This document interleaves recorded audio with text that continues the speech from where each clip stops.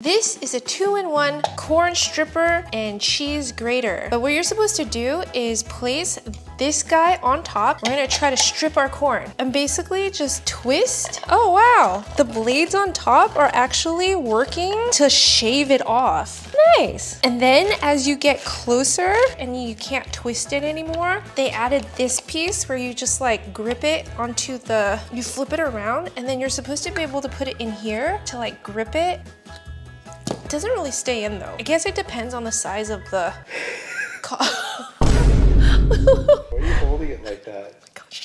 But then you're supposed to be able to grip it and then twist it to get the bottom in. And voila, you guys are sick by the way. Okay, let's see how the cheese grates into it. I'm gonna try it with some Parmesan cheese. That thing's pretty cool. 10 out of 10.